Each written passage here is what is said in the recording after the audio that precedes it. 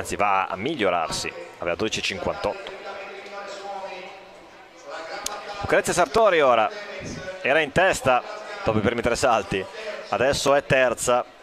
E anche il terzo posto. Ha vacillato dopo il 12 e 62 di Veronica Vialetto. E attenzione a questo salto di Sartori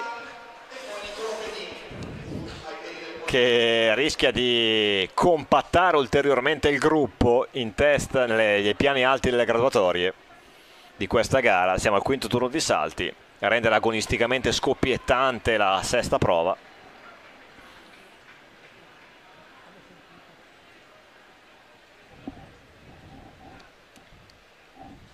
Vediamo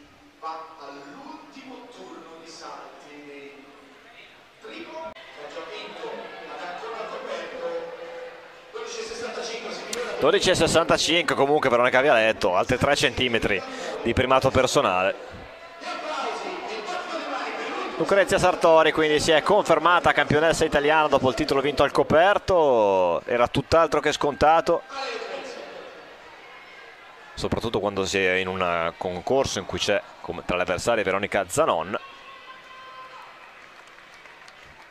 E un altro bel salto per Sartori che arriva forse attorno ai 12,80 con, con questo triplo balzo.